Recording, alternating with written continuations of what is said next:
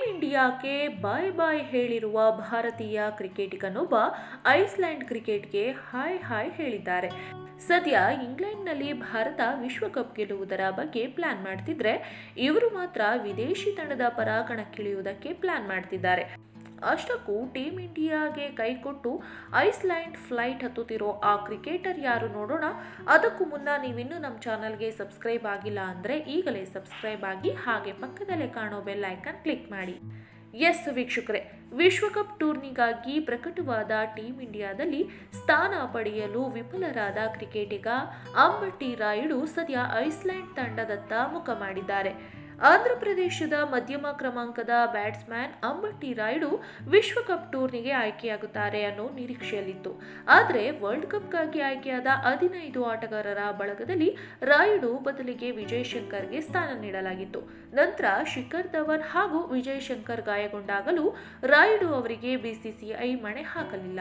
ಈ ನಡುವೆ ಭಾರತ ತಂಡದಲ್ಲಿ ಸ್ಥಾನ ಪಡೆಯಲು ವಿಫಲರಾದ ರಾಯುಡುಗೆ ಐಸ್ಲ್ಯಾಂಡ್ ಕ್ರಿಕೆಟ್ ಮಂಡಳಿ ಭರ್ಜರಿ ಆಫರ್ ನೀಡಿದೆ. ವಿಶ್ವಕಪ್ ಟೂರ್ನಿಯಲ್ಲಿ ಬಿಸಿಸಿಐ ರಾಯುಡು ಅವರನ್ನ ಕಡೆಗಣಿಸಿದ್ದನ್ನೇ ನೆಪವಾಗಿಸಿಕೊಂಡ ಐಸ್ಲ್ಯಾಂಡ್ ಆಫರ್ ನೀಡಿದೆ. ಈ ಕುರಿತು ಟ್ವೀಟ್ ಸಹ ಮಾಡಿದೆ. ಇದರ ಬೆನ್ನಲ್ಲೇ ರಾಯುಡು ಅಂತಾರಾಷ್ಟ್ರೀಯ ಕ್ರಿಕೆಟ್ಗೆ ನಿವೃತ್ತಿ ಘೋಷಿಸಿದ್ದಾರೆ.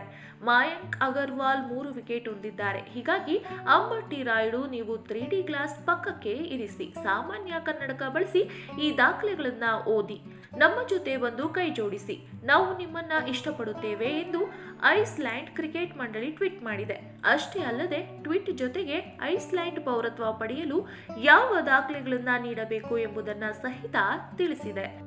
ಹಾಗಾದ್ರೆ ರಾಯುಡು ದೇಶ ಬಿಡ್ತಾರಾ? ಐಸ್ಲ್ಯಾಂಡ್ ಫ್ಲೈಟ್ ಹತ್ತುತ್ತಾರಾ? ಅಷ್ಟಕ್ಕೂ ಆಗಿರೋದೇನು ಅಂತ ನೋಡೋದಾದ್ರೆ ವಿಶ್ವಕಪ್ ಟೂರ್ನಿಗಾಗಿ ತಂಡವನ್ನು ಪ್ರಕಟಿಸಿದಾಗ ನಾಲ್ಕನೇ ಸ್ಥಾನಕ್ಕಾಗಿ ತ್ರೀ ಡೈಮೆನಿಯನ್ ಪ್ಲೇಯರ್ ಅಗತ್ಯವಿತ್ತು.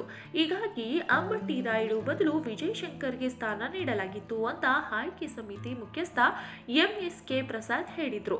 ಪ್ರಸಾದ್ ಹೇಳಿಕೆಗೆ ರಾಯುಡು ತ್ರೀ ಡಿ ಗ್ಲಾಸ್ ಖರೀದಿಸಿ ವಿಶ್ವಕಪ್ ನೋಡುವುದಾಗಿ ಟ್ವೀಟ್ ಮಾಡಿದ್ರು. ಆಗ ರಾಯುಡು ಮಾಡಿದ ಟ್ವೀಟ್ ಸಖತ್ ಟ್ರೋಲ್ ಆಗಿತ್ತು. ಈ ನಡುವೆ ವಿಜಯ್ ಶಂಕರ್ ಗಾಯಗೊಂಡು ಅವರ ಸ್ಥಾನಕ್ಕೆ ಮಾಯಾಂಕ್ ಅಗರ್ವಾಲ್ ಆಯ್ಕೆಯಾದರು. ಈ ವೇಳೆ ರಾಯುಡು ಟ್ವೀಟ್ ಮತ್ತೆ ಟ್ರೋಲ್ ಆಯಿತು. ಅಷ್ಟೇ ಅಲ್ಲದೆ ಐಸ್ಲ್ಯಾಂಡ್ ಕ್ರಿಕೆಟ್ ಮಂಡಳಿ ಕೂಡ ಪರೋಕ್ಷವಾಗಿ ರಾಯುಡು ಕಾಲೆಳೆದಿದೆ. ಇದೆಲ್ಲದರ ನಡುವೆ ರಾಯುಡು ಕ್ರಿಕೆಟ್ನ ಎಲ್ಲ ಮಾದರಿಗೆ ಗುಡ್ ಬೈ ಹೇಳಿದ್ದಾರೆ. ಹಾಗಾದ್ರೆ ರಾಯುಡು ದೇಶ ಬಿಡ್ತಾರಾ? ಐಸ್ಲ್ಯಾಂಡ್ ಪೌರತ್ವ ಪಡಿತಾರಾ? ಈ ಬಗ್ಗೆ ನೀವು ಕೂಡ ಕಾಮೆಂಟ್ ಮಾಡಿ. ಹಾಗೆ ಈ ವಿಡಿಯೋ ಇಷ್ಟವಾಗಿದ್ದಲ್ಲಿ ಲೈಕ್ ಮಾಡಿ, ಶೇರ್ ಮಾಡಿ, ಹಾಗೆ ಸಬ್ಸ್ಕ್ರೈಬ್ ಆಗೋದನ್ನ ಮರಿಬೇಡಿ.